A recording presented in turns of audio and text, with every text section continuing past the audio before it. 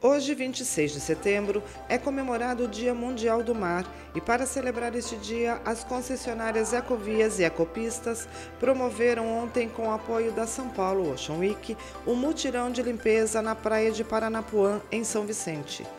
A atividade de limpeza das praias aconteceu em parceria com a administração do Parque Estadual Xixová Japuí e teve a participação da equipe do programa Viveiro de Mudas, que promove a inclusão de pessoas com deficiência intelectual.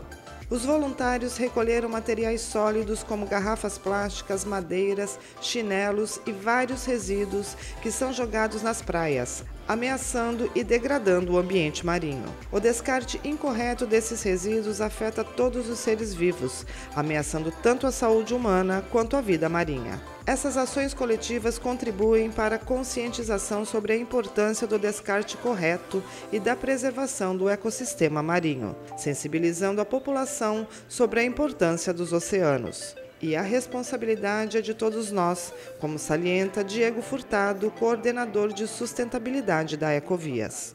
O objetivo principal dessa ação, além da limpeza, é conscientizar toda a população da importância do cuidado ativo com o planeta.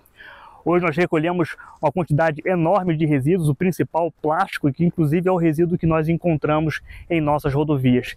80% desses resíduos acabam no oceano, afetando todo o ecossistema marinho.